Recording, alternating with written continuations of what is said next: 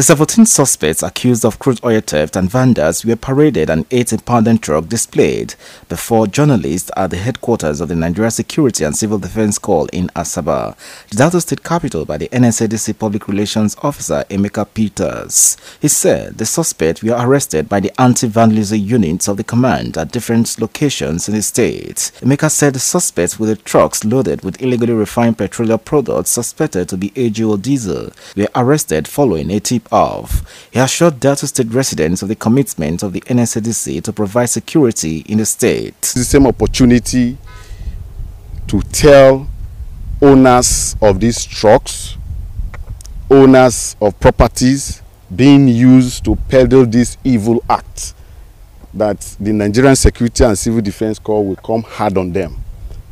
It is no longer business as usual when we only arrest the drivers and their motorboy. This time around, we'll go down to the creeks, we'll arrest the owners of the trucks, we'll arrest their sponsors, we'll arrest, also arrest and prosecute owners of landed properties being used for this dastard act. We have confiscated properties used for pipeline vandalism and crude oil theft in the country. The suspects, who were mostly from the northern part of the country, said they were innocent because they were only sent by their boss to deliver the products to various locations. Want to appeal to government to forgive us on this one because this is my first time. From Asaba, Austin Azu reporting.